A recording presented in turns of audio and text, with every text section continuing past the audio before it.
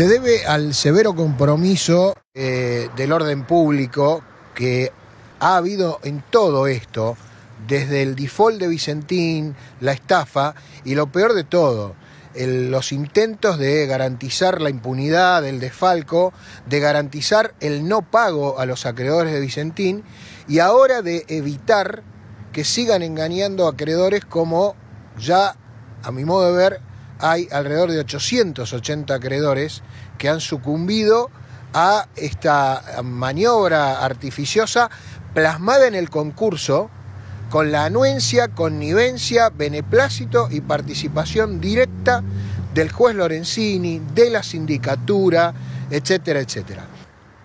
Yo les doy un solo dato de por qué estamos donde estamos.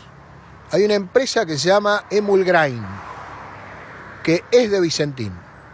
Vicentín intentó transferirla. El juez de concurso no lo autorizó. Entonces hicieron una licuación encubierta. Empezaron a liquidar la empresa con los distintos pasos que la normativa vigente impone, con la anuencia y el beneplácito del juez Lorenzini, porque el juez Lorenzini se fue enterando paso a paso de este proceso de liquidación.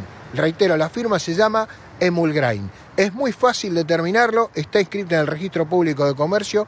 Cualquier ciudadano, cualquier periodista puede ir a ver qué fue lo que ocurrió y lo que está ocurriendo. Me parece que es un, paso importante, me parece que ante la gravedad institucional, la, la, lesión a la entretela social que ha llevado toda la trama Vicentín, única en la historia de la provincia, única en la historia de la Pampa Húmeda, bueno, eh, nosotros entendíamos que el Poder Judicial, en su expresión más jerárquicamente más alta, no podía permanecer eh, impávida entre todo esto.